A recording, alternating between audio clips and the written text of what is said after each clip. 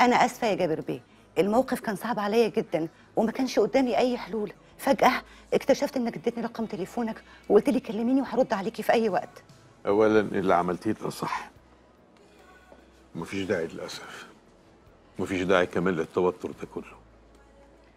ثانيا بقى حكاية جابر بيه وجابر باشا دي دمها تقيل. أنا ما بحبهاش. أرجوك يا جابر باشا بلاش الجملة الأخيرة دي. يعني إيه؟ مش فاهم. أنا أقصد إن حضرتك قلت لي الجملة دي أول مرة قابلتك فيها. قلت لي بلاش بيه وباشا قولي لي جابر بس. وطبعا سعادتك فاكر كنت تقصد إيه ساعتها. ده أنت قلبك أسود قوي أسود يا جابر بيه. طبعا كان لازم يسود وما يفتكرش غير الضلمة اللي عاش فيها. عارف. عارف ومش هنعشق في اللي حصل.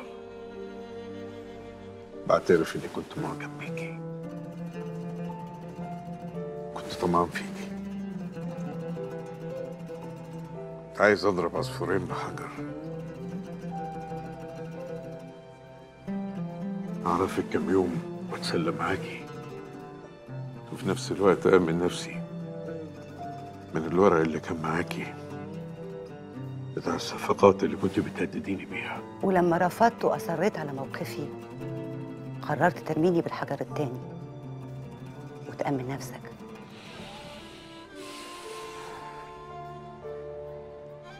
أنت غلطان.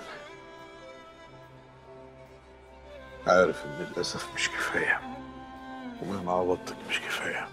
بس أنا دلوقتي مش عايز حاجة منك. أنا لا خايف منك.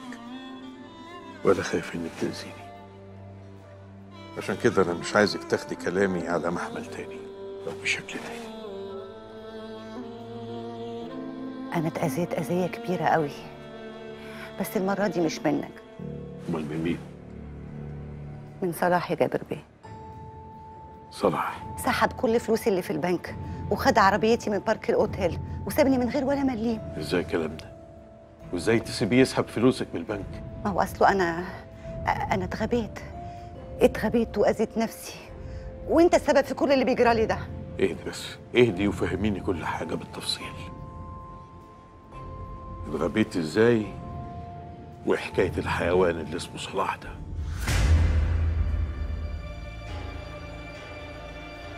يبقى أنا صح يا تغريد. واللي حسبته طلع مظبوط بالملي بس ورحمة أمي ما هسيبك.